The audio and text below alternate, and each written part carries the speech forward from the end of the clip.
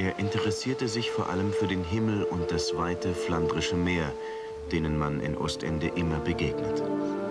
James Ensor, eine der großen und rätselhaften Künstlerpersönlichkeiten dieses Jahrhunderts, hat sich nie von seiner Heimat getrennt. Und der flämische Maler, Wegbereiter der Moderne, wusste auch warum. Weil das Licht hier so besonders ist und mich das Spiel der Sonne im Meer immer auffühlt.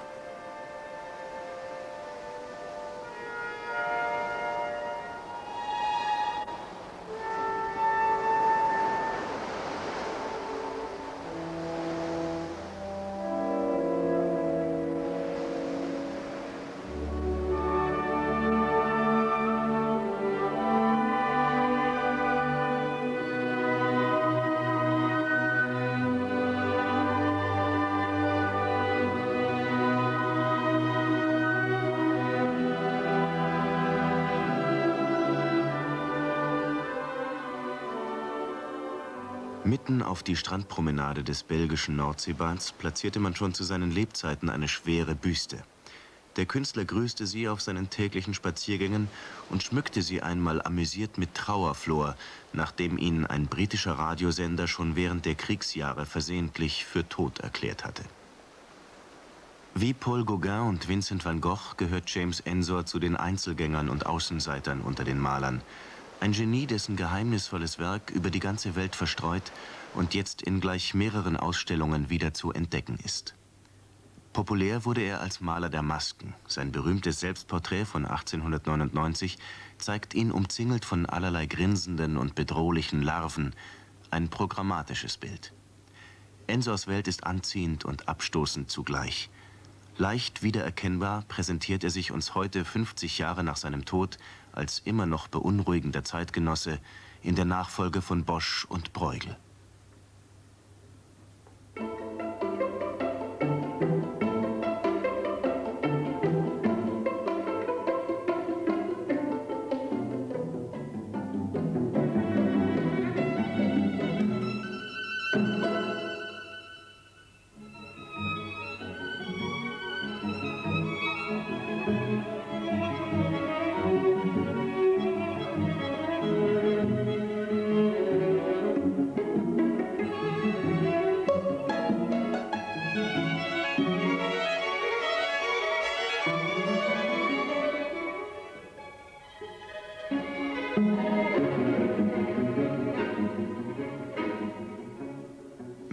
Hundertmal hat sich der Künstler porträtiert, selbstbewusst auch in der Manier eines Rembrandt, jedoch mit einem verwegenen Frauenhut und einer übermütigen Pfauenfeder. Die Lust an der Travestie und der Verwirrung ist ihm schon früh eigen.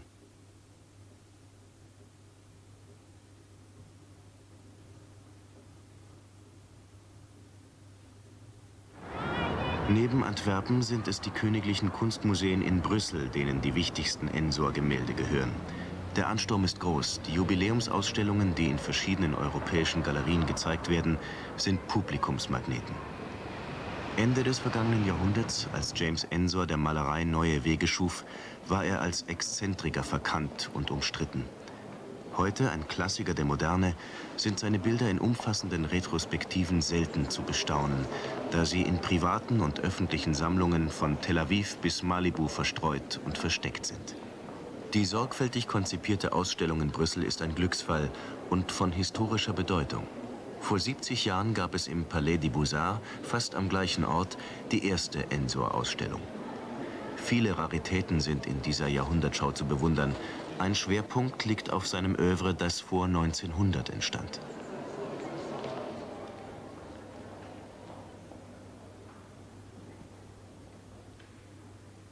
Ensors Bildwelten treffen heute auf eine Kunstsituation, in der sein Genie mit seinem radikalen inhaltlichen Anspruch und der Farbenpracht gerade die jüngere Generation herausfordert. Den Ausstellungsmachern gelang es, frühe Jugendbildnisse aufzustöbern. Als ich 15 war, malte ich im Freien die Umgebung von Ostende. Diese kleinen, unprätentiösen Arbeiten, die ich mit Petroleum auf rosa Karton malte, erfreuen mich doch stets.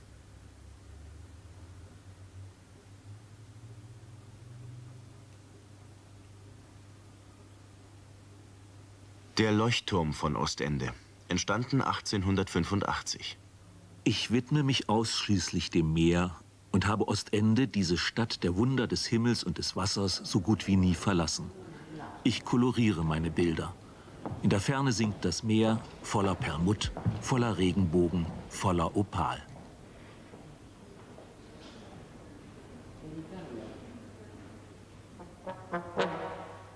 Die Badenden von Ostende 1890. Provozierend setzte hier der Spott den Zeitgenossen zu, die der Maler bei allerlei unschicklichen Verrichtungen beobachtete. Ich feuere eine Breitseite auf die Strände von Ostende ab. Massenweise breiten Leute ihre Beine über den Köpfen anderer in einem unmöglichen Meer aus.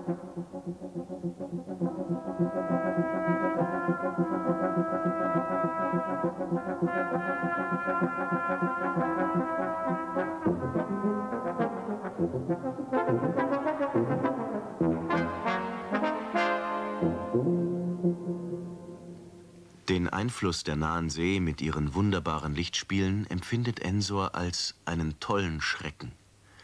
Sie lebt in vielen Bildern, nicht nur in seinen schrundig aufgespachtelten Meervisionen, auch in den mit Kreide und Farbstiften komponierten Panoramen, die die Prüderie der Spießer und die Verlogenheit der Bürger karikieren.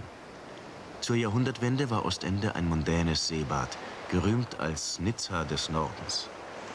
Ein geheimer Instinkt leitet mich an. Ein Verständnis für die Seeatmosphäre, die ich mit den Lüften einatmete, mit den perlenden Dämpfen einsog, aus den Wellen schöpfte und in den Winden hörte.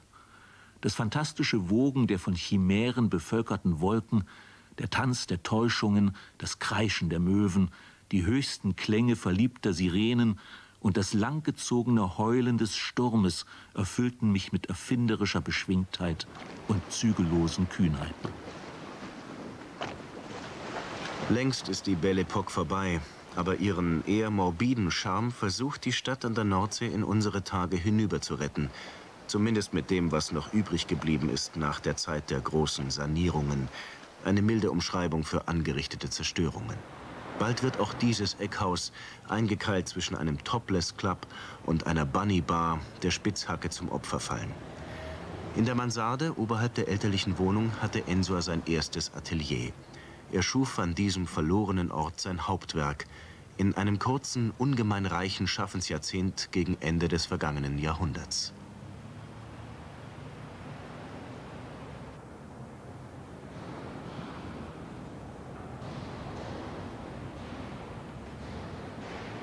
Groteske Szenerien, deren Entstehungsort mit abgebildet wurde. Schreckensbilder aus der stillen Dachkammer. Skelette im Atelier.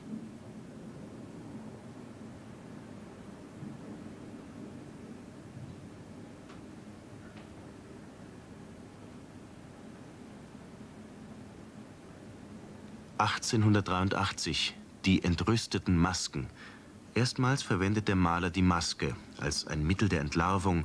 Die Figuren erscheinen befremdlich stumpf, wie gefangen. Ensors herrschsüchtige Großmutter verkleidet als Hexe und der verzweifelte Trinker. Ein trauriges Porträt seines Vaters. Die Ensors lebten nach dem Ruin des Vaters, eines Ingenieurs, alle unter einem Dach.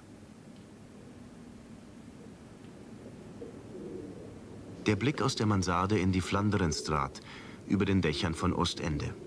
Unten tummelt sich das Volk, formiert sich zu Umzügen, Musikparaden, Maskenfesten. Eine erste Auseinandersetzung mit der Masse Mensch, unerklärlich erstarrt und dennoch bewegt.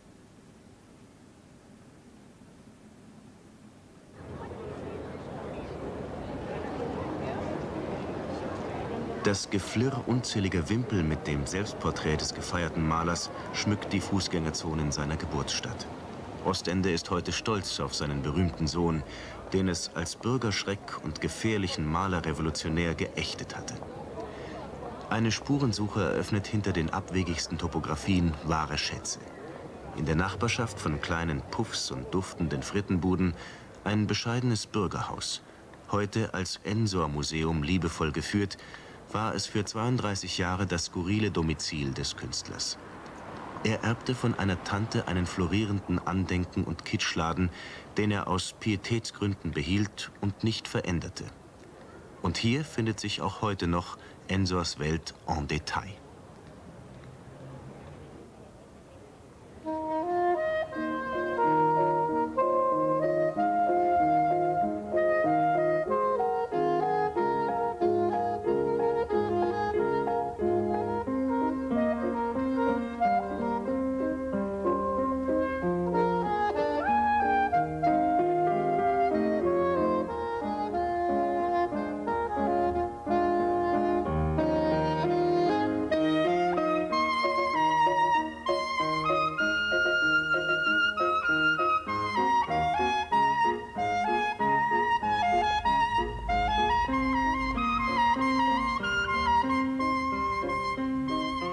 Großeltern besaßen in Ostende einen Laden mit Muscheln, Spitzen, ausgestopften seltenen Fischen, alten Büchern, Stichen, Waffen, chinesischem Porzellan.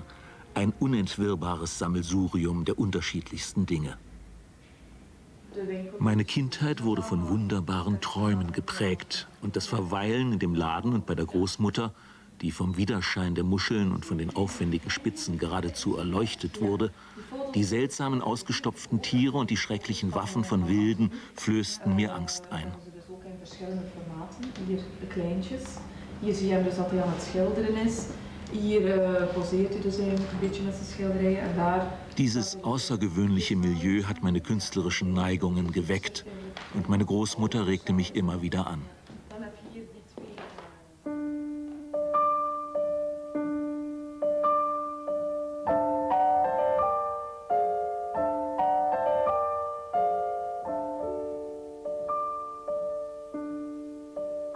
Ich habe aus Deutschland rund 100 bizarre Masken kommen lassen.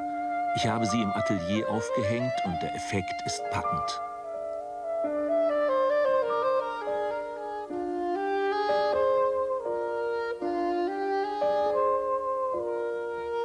Ich bin von den Treibjägern gehetzt worden, also habe ich mich freudig in die Einsamkeit zurückgezogen, wo die Maske herrscht, hinter der sich Gewalt und Glanz verbergen.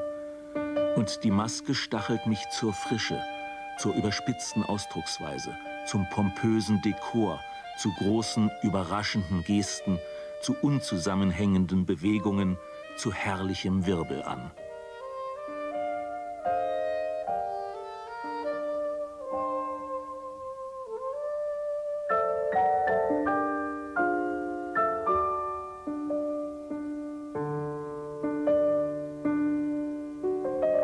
Masken als Metaphern für ein groteskes Welttheater, als Phantome der Hellsicht, die entlarven und eben nicht verhüllen. Grelle Schattierungen mit leuchtenden Farbinseln, überraschende Weißlegierungen und immer wieder Ausbrüche von Rot und Blau. Ihr Schöpfer bescheinigt seinen Dämonen Mokant, Zärtlichkeit und Hübschheit. Purpurn, Azurblau, Perlmuttern, muschelig, austernhaft, überprägt, gestreift, steinbuttig, bärtig, stockfischig, schollig, spitzbübisch, mit Fantasie gefüllt, sind sie nach Herzenslust ausgelassen.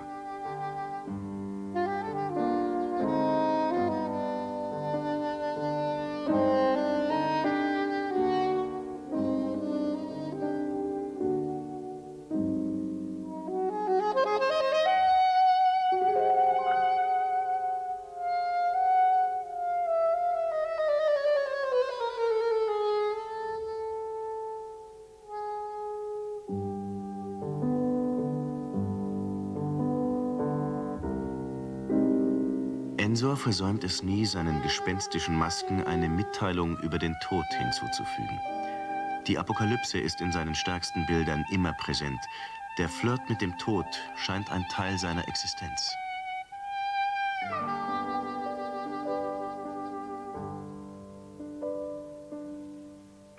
Ensor inszeniert mit seinen Freunden eine Maskenpyramide.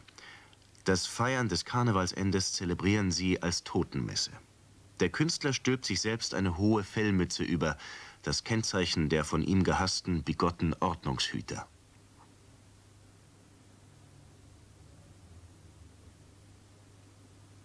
Der Maler liebte das anarchische Treiben des Karnevals.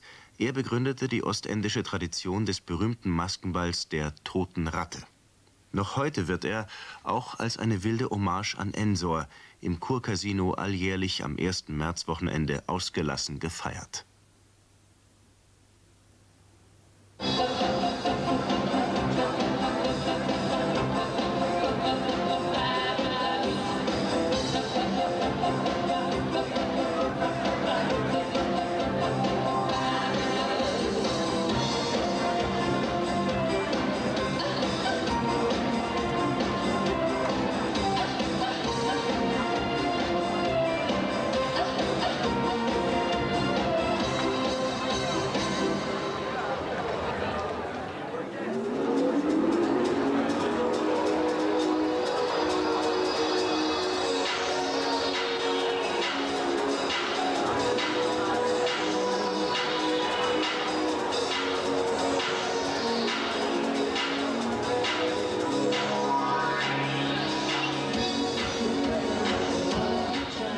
Queens aus London, rheinische Kostümfetischisten, holländische Transvestiten, vielerlei muntere Ensor- und Ballfans zieht es zum Fest der Toten Ratte in das abgelegene belgische Seebad. Es ist erstaunlich, wie gut die Verwandlungskünstler mit den bisweilen durchaus ekelerregenden Motiven des Malers vertraut sind. Auch an Ensors Rolle als früher Ökologe, als Tierschützer und Gesellschaftskritiker wird mit fantasievollen Masken erinnert.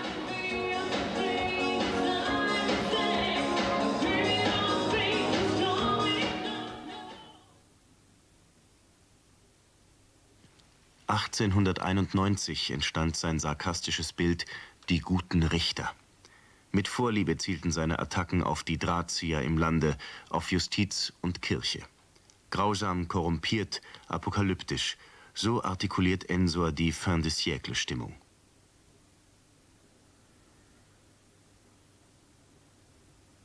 Er klagt die umweltzerstörenden Architekten an und mokiert sich über die Schandtaten massakrierender Ärzte. Kein Wunder, dass sich der couragierte Künstler mit diesen Angriffen in der Bourgeoisie keine Freunde machte.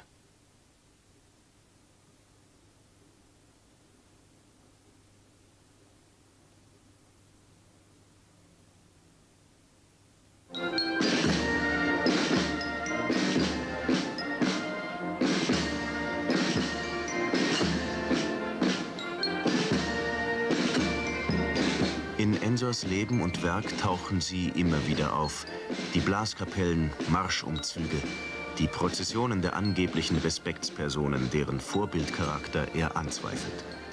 Er verwendet ein drastisches Vokabular, schießt auf die Schleimscheißer und bellenden Souffleure. Er sei gekommen, den Bourgeois zu ärgern, den fetten Ideologen zu erzürnen, den Spötter zu sterilisieren.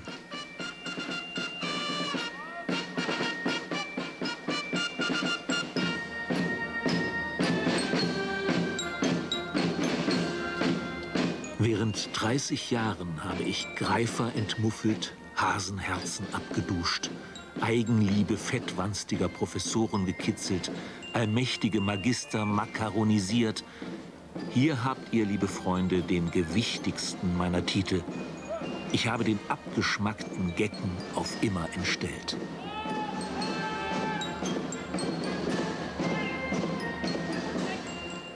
Hinter den Masken und Paraden sah der Maler das entsetzliche Nichts. In dem merkwürdig melancholischen Ostende ist Ensors makabre Welt eindrucksvoll nachzuerleben. Sein englischstämmiger Vater, das einzige Familienmitglied, das ihn in seinen künstlerischen Neigungen unterstützte, ging in der spießigen Welt der flämischen Provinz mit 52 Jahren auch am Alkohol zugrunde. Meine Mutter ernährte mich mit Pralinen und Bonbons und eine liebe Tante löffelte mir überzuckerte Milch ein.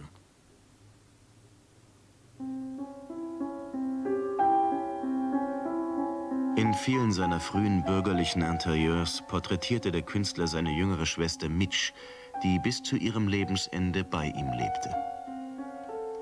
1881 entstand dieses melancholische Bild der Schwester als dunkle Dame eine familiäre Horrorszene, Mitch war von einem chinesischen Kaufmann geschwängert und kurz nach der Heirat verlassen worden. Ihre Tochter ehelichte mit 15 Jahren den Croupier des Ostender Spielcasinos. Ensor lieferte einen bitteren Kommentar zu seiner familiären Umgebung.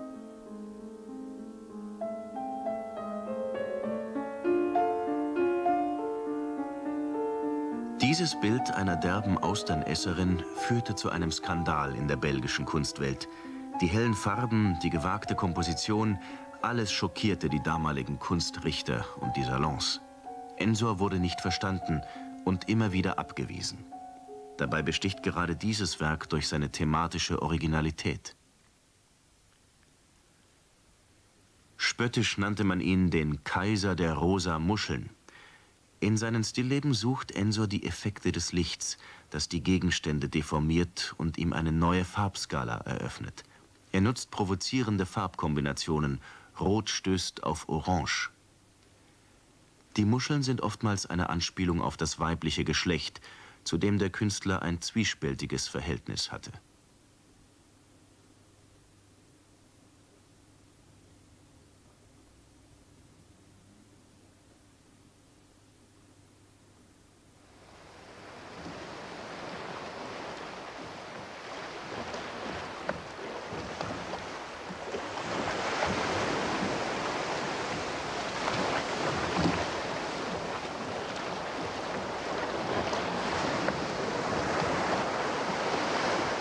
Seine Spaziergänge führten James Ensor oft zum Fischmarkt. Die Farbenvielfalt stimulierte ihn.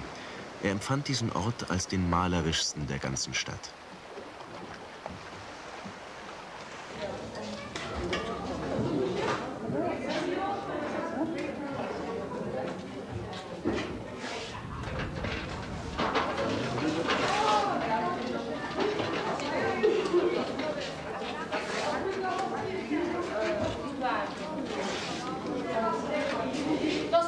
Kunst des Abweichlers fand hier ihre bestürzenden Motive.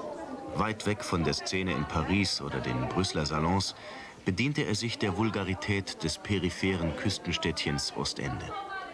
Wie Gauguin und Van Gogh lebte er bewusst abseits der Kunstmetropolen. Wie sie blieb er eine illustre Randgestalt in der Geschichte der modernen Malerei, ein skurriler Eigenbrötler, dessen Geschmack nicht mit dem Zeitgeist vereinbar war.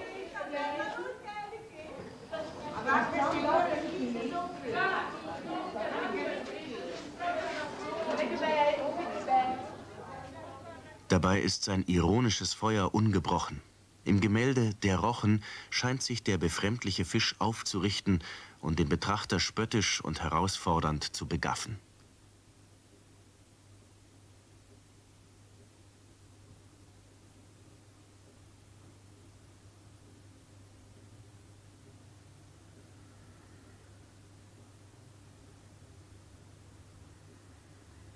Ostender Volkstypen sind seine melancholischen Fischweiber von 1892, erloschene Frauen, die nichts mehr zu erwarten haben, ihre Gesichter starr wie Masken. Und einmal mehr tauchen feixende Totenschädel als Voyeure auf.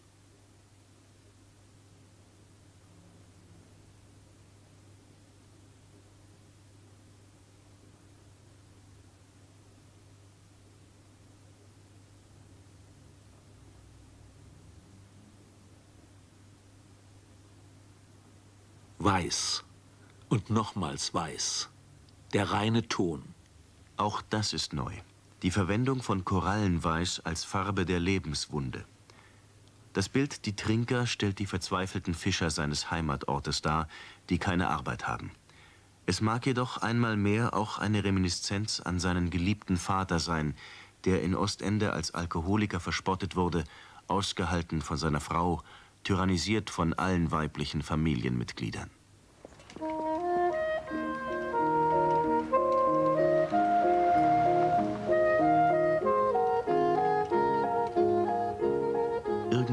Zentrum von Ostende eine wunderbar melancholische, auch eine schaurige Hommage an den Meister.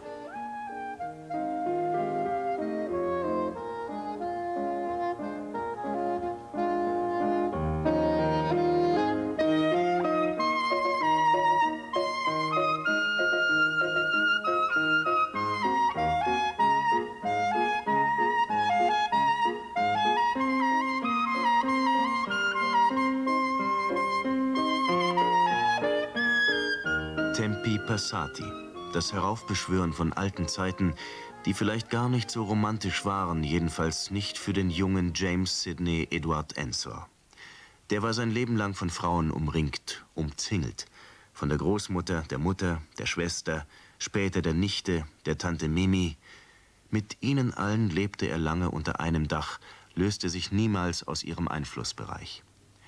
Und als er 1888 Augusta Bogarts kennenlernte, eine ehemalige Verkäuferin im Andenkenladen der Großmutter, wurde diese Mesalliance von den dominanten Frauen der Familie nicht geduldet.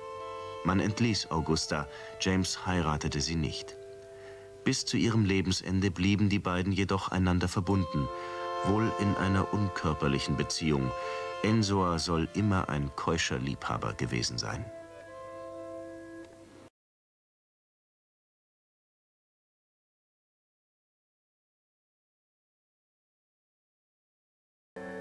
Augusta und Ensors frühreife Nichte. Seine Zuneigung zu diesen Frauen konnte er nur auf der Leinwand artikulieren.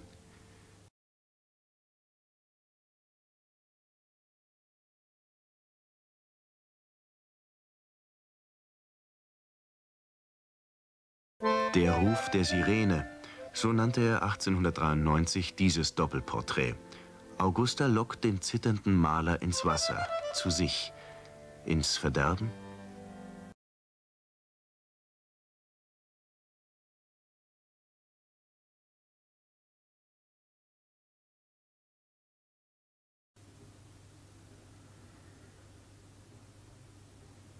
Was sich heute dem Besucher in Ostende als originelles, einzigartiges Malerdomizil präsentiert, ist immer mehr als ein Dekor gewesen. Es war ein unvergleichliches Gehäuse, mit dem Maler verbunden wie die Schale mit einem Meerestier.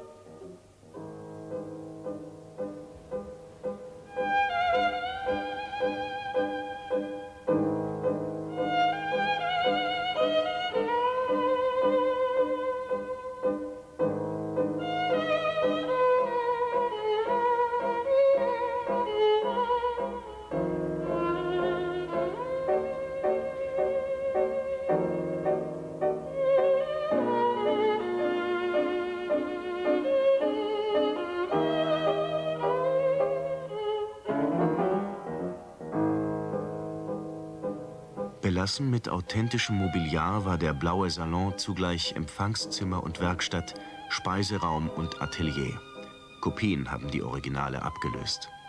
Eine Stätte, in der auch das Grauen zu Hause ist.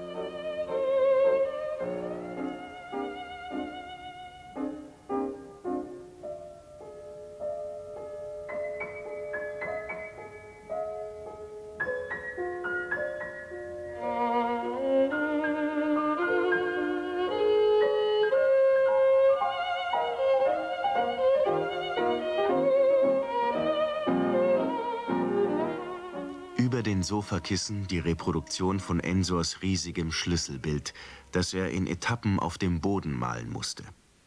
Der Einzug Jesu Christi in Brüssel. Von diesem Gemälde hat sich der Künstler Zeit seines Lebens nicht trennen können. Es hängt heute als Prunkstück des Paul Getty Museums in Los Angeles. In der Brüsseler Ausstellung kann man das Jahrhundertbild nur als Ektachrom sehen, die Kalifornier geben diese Inkunabel der modernen Malerei aus konservatorischen Gründen zu keiner Reise mehr frei. Das 1888 gemalte Riesenformat ist eine Chiffre über Macht und Ohnmacht der Massen in den Großstädten. Mit seinen Anspielungen auf Literatur, Politik und Kunst ist es eine Allegorie auf die Welt, vergleichbar mit den Schreckenspanoramen eines Hieronymus Bosch und eines Peter Bruegel.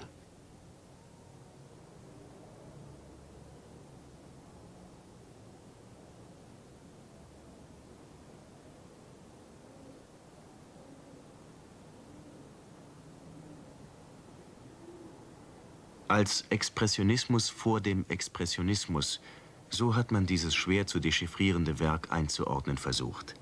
Eine groteske Attacke auf den bürgerlichen Biedersinn. Alle Widerlinge der Welt werden auf der Leinwand vorgeführt. Inmitten des Getümmels Ensor selbst in der Rolle eines schmächtigen Jesus Christus, auf einem kleinen Esel in Brüssel einreitend.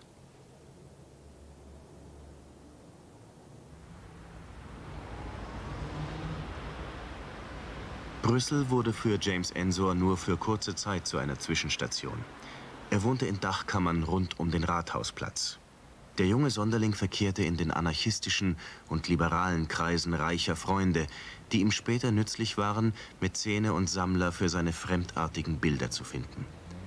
Die drei Jahre, die er an der Kunstakademie studiert hatte, sah er als verlorene Zeit an. 1880 verlasse ich ohne weitere Umstände diese Dose für Kurzsichtige. Ich habe von Antike bereits genug. Ich bin satt und besoffen vor lauter Antike und niedergesäbelt von den Komplimenten, die meine plappernden Professoren auf mich abfeuern. Das Jahrzehnt nach seinem ruhmlosen Abgang von der Königlichen Kunstakademie in Brüssel wird für den unorthodoxen Maler zum Höhepunkt seines künstlerischen Schaffens. Gleichzeitig ist er in Ostende isoliert, resigniert, er fühlt sich unverstanden. Seine Werke verkaufen sich nicht. In einem Anfall von Verzweiflung versucht er 1893 sogar, alle Bilder seines Ateliers zu einem Spottpreis von 8500 Francs zu verhökern. Doch keiner meldet sich. Der Tod in Form von Skeletten und Schädeln wird zu Ensors Gefährten, zu seinem alter Ego. Sei es aus Spott oder aus Angst, er freundet sich dauerhaft mit dem Tod an und vergleicht das Leben, dem jede Todesangst fehlt, mit einer platonischen Liebschaft oder einem risikolosen Spiel. Ein Selbstporträt mit dem eigenen Kopf als Totenschädel entsteht. Der Tod ist der Organisator und Spielleiter des großen Lebenskarnevals.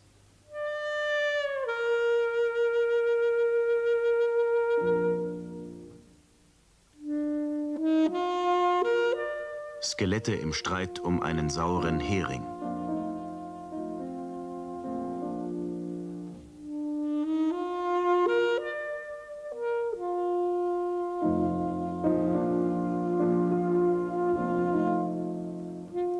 Eine wunderbar makabre Inszenierung von 1889. Skelette melden menschliche Bedürfnisse an. Sie wärmen sich an einem Kanonenofen.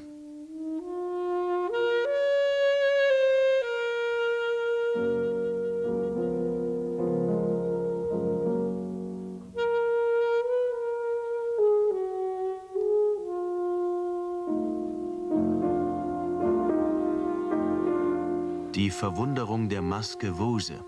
Vielleicht ist es einmal mehr Ensors Großmutter, die hier im Unterkleid mit langnasiger Maske vor dem in wohlüberlegter Unordnung am Boden angeordneten Karnevalplunder posiert.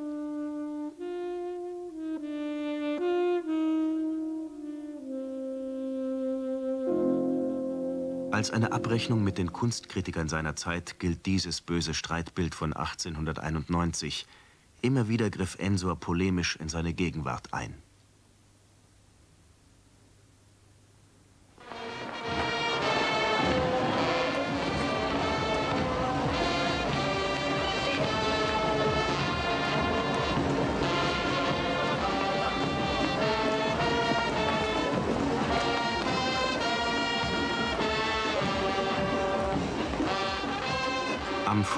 Zum Ball der Toten Ratte gibt es, auch im Gedenken an James Ensor, turbulente nächtliche Umzüge in Ostende.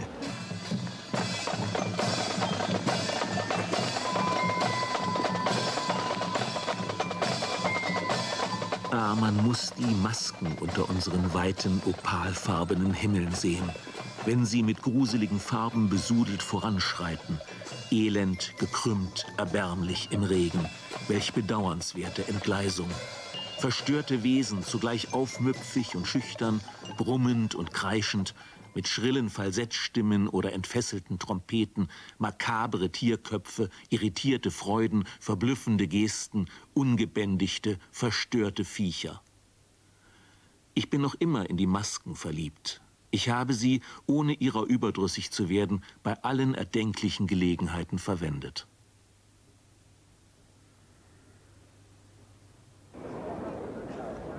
Ensor ist der entscheidende Wegbereiter des Surrealismus.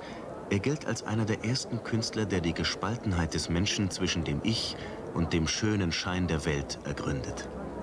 Als radikaler Einzelgänger analysiert er ihre dunkle Seele und verleiht ihr in seinen visionären Bildwelten Ausdruck. Ensor hat seinen Höhepunkt als Maler überschritten, Da wird der Außenseiter aus Ostende plötzlich in Brüssel salonfähig und mit Ehrungen und Anerkennungen überschüttet. Anlässlich der großen Ensor-Retrospektive zur Eröffnung des Palais des Beaux-Arts 1929 wird der Maler von König Albert I. zum Baron geadelt. Launisch wählt Ensor einen Notenschlüssel als Wappen. Bewusst setzt er aus dem fernen Ostende einen unverändert makabren Kontrapunkt zu den gesellschaftlichen Glanzlichtern der Hauptstadt. Er malt weniger und schwächer. Er empfängt, er geht spazieren, hört zu, lächelt und schweigt und er posiert am Klavier inmitten seines Övres. Die Brüsseler Ausstellung zeigt einen Amateurstummfilm, der greise Maler als Musiker. Ah, la vie n'est qu'une palpitation. Et l'histoire d'Issel fut l'histoire de ma peinture. En broyant du noir, j'ai vu surtout du rose. Vision irisée des peintres de l'espace. Vision de Narcisse malmené par Pluton. Vie simple, uniforme de bon ton, dit-on, mais empli des couleurs vives et tendres, vomi par les poissons nacrés, pêchés dans les eaux vives de Phnosie, par les pêcheuses de Narquoisie. Er liebt die schwarzen Tasten und widmet sich mit Hingabe der leichten Unterhaltungsmusik. Er komponiert und entwirft eine Ballettpantomime, die Tonleiter der Liebe. Es ist die Geschichte eines Flirts unter Marionetten. Schauplatz des ersten Aktes ist, ausgerechnet, ein Kuriositätenladen.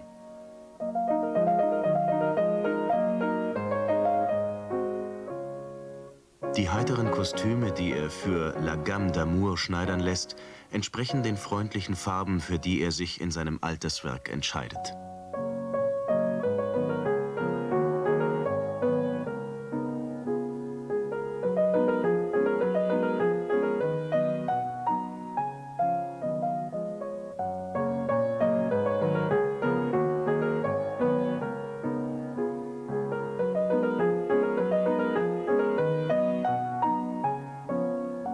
Komponiert mit kindlicher Freude einen Walzer für die Ostender Rotarier und wird zum Balletteleven. Mit seiner Waghalsigkeit ist es vorbei.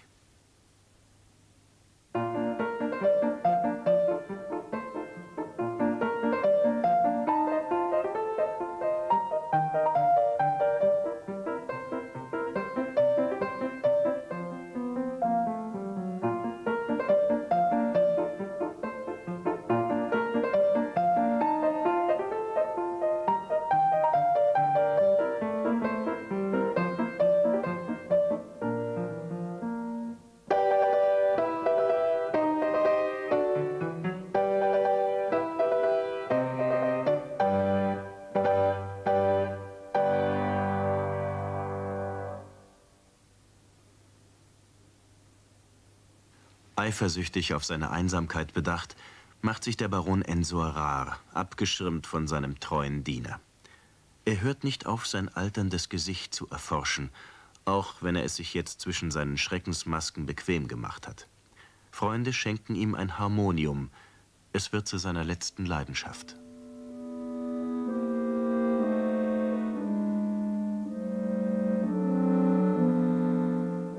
Jetzt ertrage ich den Klang eines Klaviers nicht mehr. Ich finde ihn schrill und eintönig. Viele glückliche Stunden habe ich bereits an dem schönen Harmonium verbracht. Es ist das Instrument des Malers. Und die vollen rätselhaften Klänge erinnern an die großen, mächtigen Töne gewisser alter Gemälde.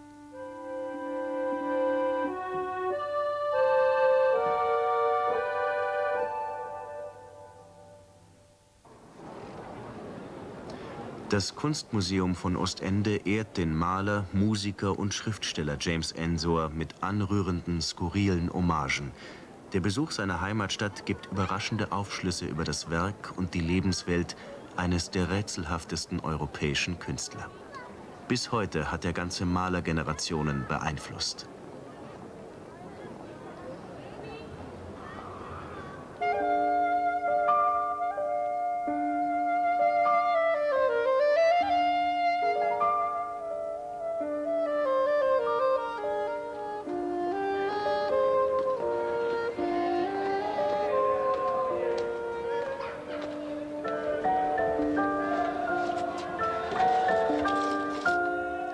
Im Rathaus von Ostende gibt der alternde Meister seinen jungen Malergenossen einmal folgenden Ratschlag auf den Weg.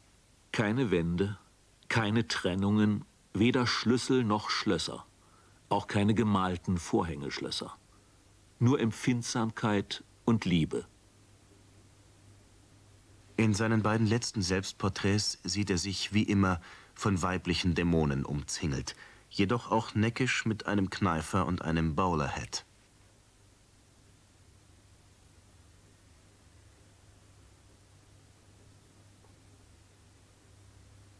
Fast 90-jährig stirbt er 1949 in Ostende, wo er in den Dünen begraben ist. Bescheidenheit des Malers gegenüber der Natur. Vorstellungskraft voller Träume. Arbeiten, die vom Wind ernährte und umspielte greifbare Formen oder Figuren beinhalten. Farben, die vom Meereswind aufgefrischt sind. Gesten, die von Luftspiegelungen vergrößert und verformt sind. Und ich liebe die Sirenen. Und ich liebe die blonde Venus mit ihren Muscheln, die den leuchtenden Seiten des Meeres entsprungen sind.